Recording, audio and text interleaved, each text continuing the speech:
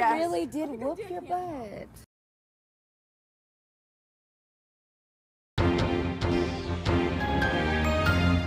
Petition calling for Amber Heard to be dropped from upcoming Aquaman 2 passes 2 million signatures amid allegations of domestic abuse against Johnny Depp and their $100 million trial. It comes after allegations Heard had domestically abused Johnny Depp. Depp is suing Heard for $50 million after she called herself a victim of domestic abuse. Heard is countersuing for $100 million, claiming Depp libeled her by calling her a liar. Depp was dropped by Disney after she made the claim in the Washington Post. In my opinion, she should get a taste of her own medicine, and these elite types shouldn't be allowed to continue to be mainstream influencers when they have mental issues they need to deal with. It is much better for her to get the help she needs and be a better person before going back to work. Those are my thoughts. What are yours? Leave them in the comments below. Please share this video for education and awareness. For the Dum Dum News channel, I'm Dum Dum.